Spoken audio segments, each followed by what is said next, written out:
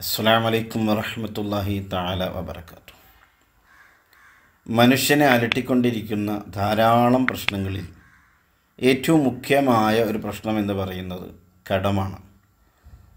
കടം കൊണ്ട് പ്രയാസപ്പെടുന്ന ആളുകളാണ് ധാരാളമായി നമുക്ക് കാണാൻ കഴിയുന്നത്. ഈ കടങ്ങൾ വരാതിരിക്കാൻ അല്ലെങ്കിൽ കടം വന്നാൽ അത് വീട്ടാനുള്ള ധാരാളം മാർഗങ്ങളും മഹത്തുക്കളായ ആളുകൾ നമുക്ക് പഠിപ്പിച്ചു തന്നിട്ടുണ്ട്. ധാരാളം കിതാബുകളിൽ ഈ വിഷയങ്ങളെ സംബന്ധിച്ച് പറയുകയും ചെയ്യുന്നുണ്ട്. ഞാൻ തന്നെ ഇതിന് മുമ്പ് എത്രയോ വീഡിയോകൾ നാലോ അഞ്ചോ വീഡിയോ എനിക്ക് എന്റെ ഓർമ്മയിൽ തന്നെയുണ്ട്. കടം വീടാനുള്ള മാർഗങ്ങളെക്കുറിച്ച് പറഞ്ഞിട്ടുണ്ട്.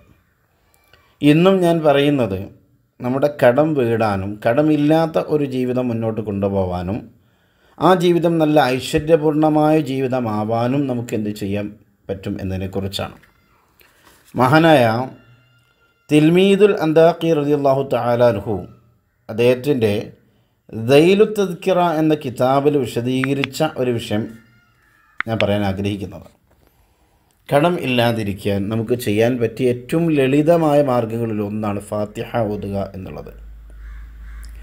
അഞ്ച് വക്കത്ത് നിസ്കാരങ്ങൾക്ക് ശേഷവും ഫാത്തിഹ ഓതണം.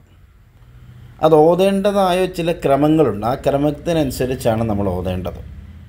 നമ്മുടെ നിത്യജീവിതത്തിൽ അങ്ങനെ ഓതിപ്പോന്നാൽ കടം ഇല്ലാത്ത ഒരു ജീവിതം നമുക്കുണ്ടാവുന്നതോടൊപ്പം ഐശ്വര്യപൂർണമായ ഒരു ജീവിതം നമുക്ക് കാഴ്ചവെക്കാനും കഴിയും. ചെയ്യേണ്ടത് ഞങ്ങൾക്ക് ഒരുപാട് വിശദീകരിക്കുന്നില്ല വളരെ ചുരുക്കി കൊണ്ട് പറയാം. ചെയ്യേണ്ടത് സുബിഹ നിസ്കാരം കഴിഞ്ഞതിന് ശേഷം നാൽപ്പത് വട്ടം ഫാത്തിഹ സൂറത്ത് ഓതുക. നിസ്സാര കാര്യമാണല്ലോ നമുക്കൊക്കെ ഫാത്തിഹ ഓതാൻ അറിയാം. അതേ സ്ഥലത്ത് ഇരുന്ന് ഓതണം നിസ്കാരം കഴിഞ്ഞ് സൂര്യൻ ഉദിക്കുന്നതിന് മുമ്പായി നമ്മൾ നാൽപ്പതെണ്ണം ഓതുക. ഇനി അഥവാ സൂര്യൻ ഉദിച്ചു പോയാൽ തന്നെ അതിനുശേഷം നമ്മൾ ഓതണം. സുവിൻസ്കരിക്കണം. അതാണ് ശ്രദ്ധിക്കേണ്ടത്. സുവിൻസ്കാരം കഴിഞ്ഞ് ഉടൻ ഉടൻ ഓതുക. അങ്ങനെ ഓതി നാൽപ്പത് ഫാത്തിഹ ഓതിക്കഴിഞ്ഞ് ലുഹുർ സമയമായതിനു ശേഷം ലുഹുറിന്റെ നിസ്കാരം കഴിഞ്ഞതിന് ശേഷം പതിനെട്ട് തവണ ഫാത്തിഹ ഓതുക.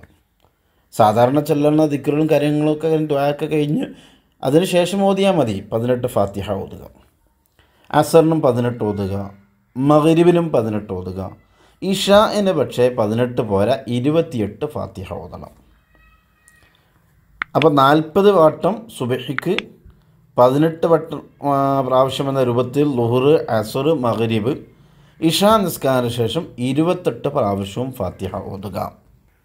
അങ്ങനെ അഞ്ച് നിസ്കാരത്തിലായി നൂറ്റി ഇരുപത്തിരണ്ട് ഫാത്തിഹ ഒരു ദിവസം നാം ഓതുക അങ്ങനെ എല്ലാ ദിവസവും അങ്ങനെ പതിവായി ചെയ്താൽ ഈ പറഞ്ഞ കാര്യങ്ങൾ നമുക്ക് സാധിപ്പിച്ചെടുക്കാൻ കഴിയുമെന്നാണ്. ഐശ്വര്യപൂർണമായ ജീവിതമുണ്ടാകും. അതേപോലെ കടം ഇല്ലാതെ നമുക്ക് ജീവിക്കാൻ കഴിയും. ഉള്ള കടങ്ങളുമെല്ലാം എല്ലാം വീട്ടാനുള്ള മാർഗങ്ങളും അള്ളാഹു താല നമ്മുടെ മുന്നിൽ തുറന്നു തരും. ഫാത്തിയ ഒരുപാട് കാര്യങ്ങൾക്കുള്ള ഷിഫയാണ് ഒരുപാട് കാര്യങ്ങൾക്ക് ഉള്ള മരുന്നാണ്. അപ്പോൾ അതിൽപ്പെട്ടൊരു മരുന്നാണ് ഈ പറയുന്നത് എന്ന് മനസ്സിലാക്കുകയും ഇനി അങ്ങോട്ടുള്ള നമ്മുടെ ജീവിതങ്ങളൊക്കെ ഈ രൂപത്തിൽ കൊണ്ട് നടക്കുക. എന്നാൽ നിസ്കരിക്കാൻ പറ്റാത്ത ആളുകൾ അവർക്ക് നിസ്കരിക്കാൻ പറ്റാത്ത നിസ്കാരം ഹറാമുള്ള സമയമുണ്ടല്ലോ. മെൻസസ് പോലത്തെ വിഷയമുണ്ടാകുമ്പോൾ സഹോദരിമാർക്ക് നിസ്കരിക്കാൻ കഴിയില്ല. ആ സമയത്തല്ലേ ഫാത്തി ഹുദിയും വേണ്ട. നിസ്കരിക്കാൻ കഴിയാത്തവർക്ക് ഫാത്തി ഓതാൻ പറ്റില്ലല്ലോ. അപ്പോൾ അത് ശുദ്ധിയായതിനു ശേഷം തുടർന്നാൽ മതി. അപ്പോൾ എല്ലാ ദിവസവും ചെയ്യും. ഇത്ര ദിവസം എന്നൊരു കണക്കതില്ല നാൽപ്പത് ദിവസം അൻപത് ദിവസം എന്നുള്ള കണക്കൊന്നുമില്ല. അവർക്ക് ചെയ്യാൻ പറ്റും എല്ലാ ദിവസവും ഇങ്ങനെ ചെയ്യുക അല്ല ചെയ്യാൻ പറ്റാത്ത ദിവസങ്ങൾ അവർ നിർത്തുക പിന്നീട് പിറ്റേന്ന് പിന്നെ തുടങ്ങുക. ഈ രൂപത്തിൽ ചെയ്യുക. അള്ളാഹു സുബഹാനുഭവത്ത ആല കടമില്ലാത്ത ഐശ്വര്യപൂർണമായ ജീവിതം നമുക്കും നമ്മുടെ കുടുംബത്തിനും നൽകി അനുഗ്രഹിക്കട്ടെ. ആമീൻ.